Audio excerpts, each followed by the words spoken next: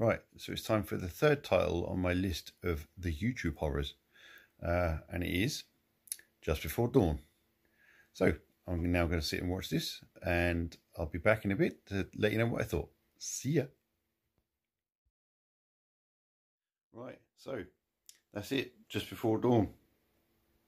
Um, so I watched the extended cut, which is over an hour and 40 minutes.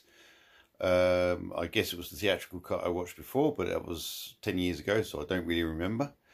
Um, I like the way the film looks on this Blu-ray from 88 Films. It's very gritty, so, so much dirt, damage and scratches and things and pops and crackles and everything in the audio.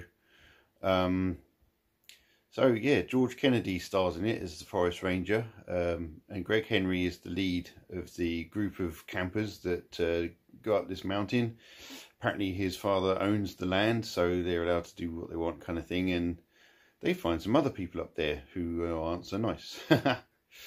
um, I found the film quite sophisticated, actually, in the way it was shot, uh, the way it was written, and the way it was, you know, executed, filmed, and everything. Um, there was some nice music cues and that sort of stuff.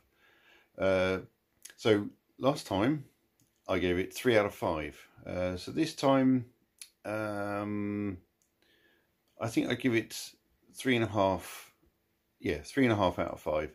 It's a bit slow and there aren't many kills, but there is a few quite tense moments. Um, there's a bit where one of the girls is up a tree and one of the bad guys is chopping it down. Um, and you know, you think you're safe up the tree, but no, he's still going to come and get you. So, uh, yeah, some quite cool tense moments. So, on here, can't really read that. Um,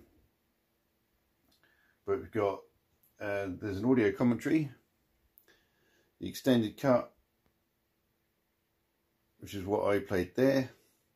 Um, and then you got Jeff Before Dawn, um, Grindhouse All Stars, that's a 35 minute um, sort of documentary, lots of directors and writers and things that had a lot of Grindhouse movies and they try and work out where the term grindhouse came from.